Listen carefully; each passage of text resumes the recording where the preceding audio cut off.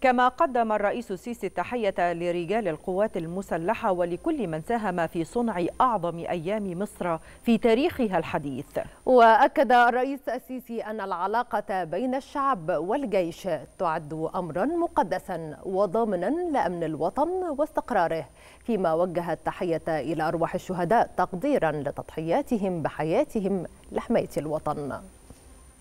ومن هذا المقام كمواطن مصري وكرئيس لمصر أوجه تحية يملؤها الإجلال والاحترام إلى كل من ساهم في صنع أعظم أيام مصر في تاريخها الحديث.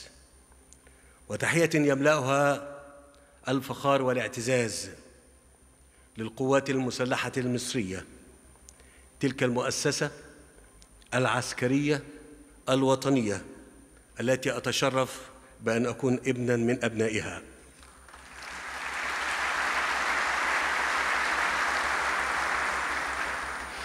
وهي رمز البسالة والإقدام والصمود والتحدي.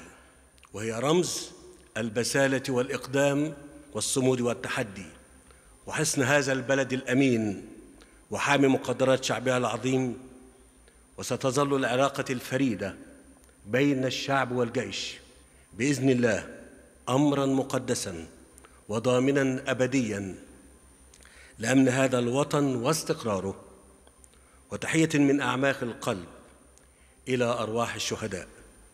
أبطالنا الذين منحونا حياتهم ذاتها كي يحيا الوطن حرا كريما مستقلا.